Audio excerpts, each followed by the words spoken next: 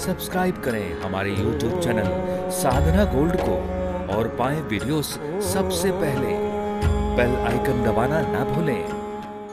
एक दिन खिड़की में से देख करके रो रहे थे, उद्धव जी ने देखा, कान्हा, क्या हुआ? बोले, मुझे ब्रज की याद आ रही है, मुझे ब्रज कभी भूलता नहीं, मैं हमेशा गोपियों को याद करता हूँ। उद्धव ने कहा, कान्हा, अब ये गोपियाँ तो गाय चराती है, गाँव के गवार है, उनको क्या याद करना भगवान कहते हैं? देखो उद्धव, प्रेम ही सबसे बढ़कर है मेरे लिए, प्रेम से बड़ा कुछ नहीं। तुम ज्ञानी हो, तुम्हें भी प्रेमी बनाना है। उद्धव जी को ब्रज में भेज दिया, सबने उद्धव को देखा और सबसे बात करते हैं। और उद्धव जी सबको समझा रहे थे, देखो गोपी, देखो मैया ज्ञान ही सबसे बड़ा चीज़ है, प्रेम कुछ नहीं है। जब गोपियों ने, श्री राधा रानी ने प्रेम का मतलब समझाया, हे उद्धव, हम तो कान्हा के प्रेम के दीवाने हैं, हम प्रेम दीवाना हैं। और कान्हा हमारे प्रियतम है, उसके बिन हम रह नहीं सकते।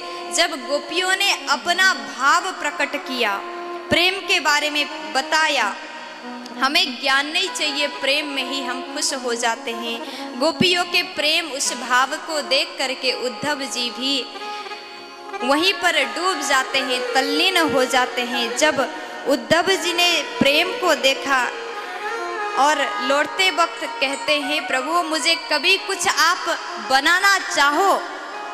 तो वृंदावने किमपि गुलमलतौ सधीनाम। वृंदावन के चाहे एक कीड़ा बना दो, चाहे पत्थर बना दो, चाहे पेड़ के पत्ते बना दो, मुझे वृंदावन में ही जन्म दे दो। हे प्रभु, इतना कृपा कर देना। अब ज्ञान रूपी दुपट्टा लेके गए हुए थे। ब्रज में जाते ही ज्ञान का दुपट्टा जो था, ब्रज के एक कांटा उस दुपट्टा में अटक जाता है।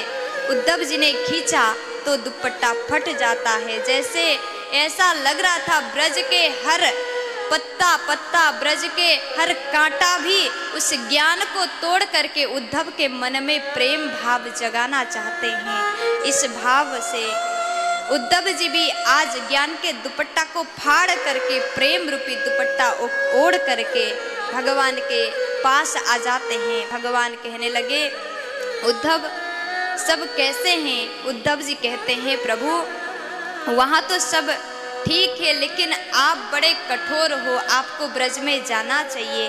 अपने प्रेमियों को इस तरह तड़पाना उचित नहीं है। तो उसके बाद भगवान कहते हैं, उद्धव, मैं यही चाहता था कि तुम भी प्रेमी बनो, क्योंकि जो मुझसे प्रेम करता है, वही मेरा है।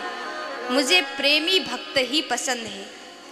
और मैं सबको प्रेम करता हूँ। मुझे लगता है कि मेरे सब भक्त मुझे प्रेम करें।